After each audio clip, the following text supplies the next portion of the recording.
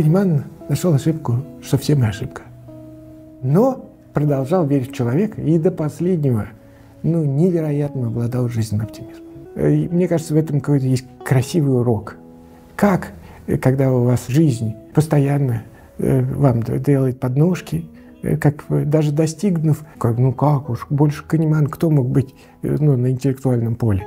И все равно сохраняете оптимизм, несмотря на э, то, что э, там и кто-то лает, кто-то что-то вот это все.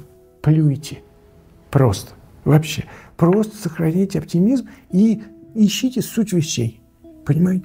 И это будет э, главным.